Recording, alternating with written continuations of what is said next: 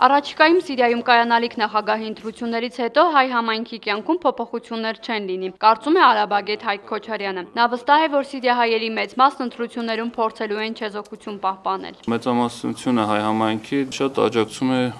կառավարական ուժերին։ Ինչի որտեղ կառավարական շրջանները, որտեղ որ վերահսկում են, այդ շրջաններում անբատաբար կարգ կանոն գոյություն ունի։